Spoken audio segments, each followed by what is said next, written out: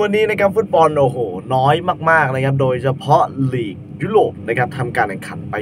เมื่อวานแล้วนะครับแล้วก็สองอาทิตย์เสาร์อาทิตย์ที่ผ่านมา ฟุตบอลวันนี้จะค่อนข้างบางตาไป พอสมควรนะครับแต่มีให้เลือกหยิบจับมีอยู่นะครับฟุตบอลวันนี้เลยนะครับเป็นทางด้านศึกลีกวันนะครับเป็นทางด้านแคลมบิกจะเปิดแฮมบี้สเตเดียมรับการมาเยือนของทางด้านอย่างเลสติง สำหรับคู่นี้ไม่เจอกันมานานแล้วนะครับโอ้โห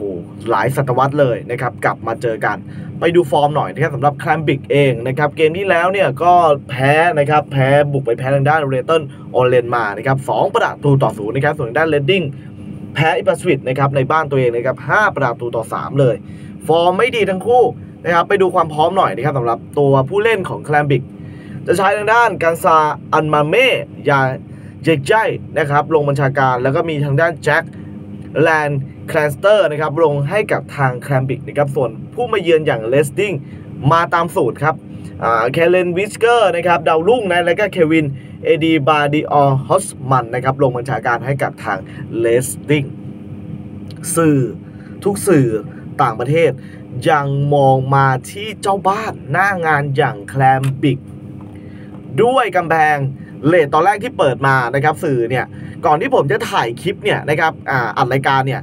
เปิดมาเสมอนะครับเลทเสมอแต่ล่าสุดกลับให้ทางเจ้าบ้านนะครับอย่างแคลมบิกเนี่ยต่อปอปานะครับขึ้นมาต่อปอปาตากลุ่ม นะครับและฟอร์มที่มันไม่ค่อยดีทั้งคู่ไม่ว่าจะเป็นอย่างเจ้าบ้านฟอร์มไม่นิ่ง หรือเรดดิ้งฟอร์มไม่นิ่ง แต่ผมมองว่าถ้าเกรดเกรดแบบนี้นะครับ อยากให้มองอในเกมในบ้านนะครับเกมในบ้านผมมองว่าแคมบริดจ์อะเล่นในบ้านผมมองว่าไม่น่าจะแพ้ และเรดดิ้งอะหลังก็โหแย่มากด้วยนะครับ ยังมองว่าถ้าให้เลือกมองความน่าจะเป็น ถ้าเป็น rate ปอปาขึ้นมาต่อแบบนี้ยังมองว่า แคมบริดจ์นะครับเป็นทีมอีกทีมที่น่าเชียร์และลงทุนในวันนี้นะครับ เพราะฉะนั้นขอมองไปที่แคลมบิกได้เลยครับ